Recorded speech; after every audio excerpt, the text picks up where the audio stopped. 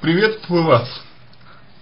А, ну, давайте мы с вами, наверное, начнем а, с таких а, более-менее очевидных а, а, причин того, что вы делаете.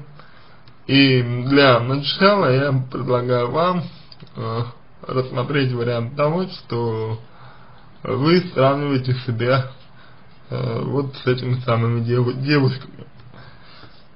То есть, э, заглядывая девушкам э, в декольте, вы э, пытаетесь э, увидеть доказательства того, например, что вы красивее, что у вас все в порядке и так далее. Это э, проявление определенной неуверенности в себе в таком случае, то есть то, что вы пытаетесь сравнивать, сравнивать себя а с другими это следствие именно неуверенности в себе и а здесь, а, по моему а, мнению, а, вам нужно работать именно над тем, чтобы неуверенность в себе пытаться, ну, скажем так, побороть. Для этого нужно понять, в чем именно, а в чем, а в чем конкретно вы не уверены а, в себе? И а, почему, а дальше уже нужно будет разбираться с тем, как у вас это, как у вас а, давно подобное. И, а, значит, а, кем у вас сформирована подобная точка зрения именно на себя. Значит, а второе, вторая причина это неудовлетворенность э, сексуальная. И сексуальная неудовлетворенность э, здесь, на мой взгляд,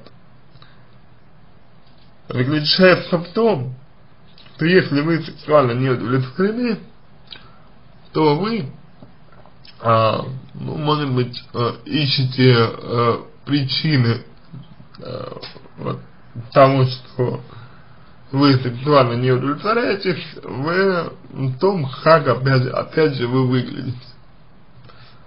То есть, может быть, вы подсознательно пытаетесь как-то вот найти способ э, понять, что же э, что же сексуального, например, у других э, дев, девушек, да, и так далее. Это вот э, еще один э, момент, и, еще один возможный вариант. Следующий вариант. А вы говорите о том, что у вас а, все в порядке с ориентацией, все нормально с ориентацией. А, на, мой, на мой взгляд, на мой взгляд, подобное утверждение является несколько э, странным с точки зрения, э, опять же, психологии, потому что если вы говорите, что у вас с ориентацией все нормально, значит, значит, если, есть люди, э, те, у кого с, ориентацией не все нормально. Ну, в частности, может быть, вы подразумеваете как, как раз таки э, людей э, с нетрадиционной ориента, ориентацией. Но э, в таком случае можно говорить о том, что вы отвергаете другую ориентацию именно отвергаете ее. А отвержение любой, а, любой ориентации это определенный невроз. То есть, э, по сути, э, вытеснение своих желаний. И тогда э, то, что вы, например, заглядываете в декольте другим а, де, девушкам а, объясня, объясняется легко, легко объясняется тем, э, что вы, э, может быть, всегда стремились, стремились именно к, значит, женщинам, вот, стремились к, к женщинам, но э, в силу ряда причин э, вы себе это запрещали. И вот именно потому, что вы себе это запрещали, как раз сейчас это дает о себе, о себе знать. Ну, так, по крайней мере, может быть. И я могу, могу здесь вам а, только сказать о том, а, почему вы а, в таком случае а, не позволяли себе быть собой. Конечно, нужно больше информации о вас, э, конечно, нужно э, больше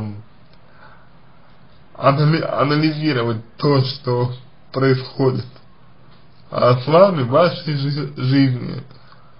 Конечно, нужно больше думать, побольше поразмышлять на тему того, как так вообще получилось, что вы стали заглядывать девушкам в декреты?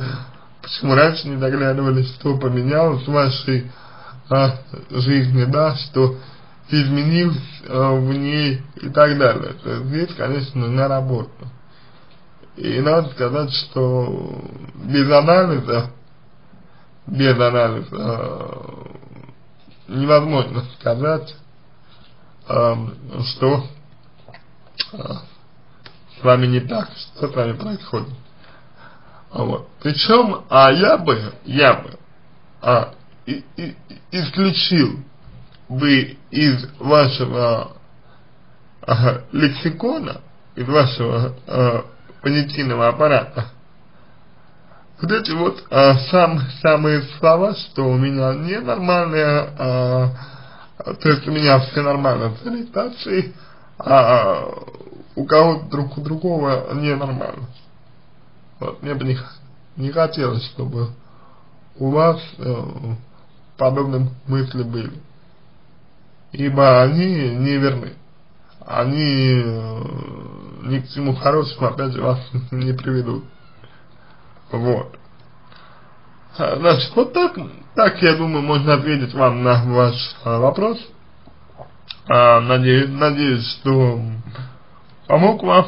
А, если какие-то дополнительные вопросы у вас еще остались, пишите в личку, а, буду рад вам помочь. А, если понравился мой ответ, буду благодарен, если сделаете его лучшим. А, желаю вам всего самого доброго и удачи!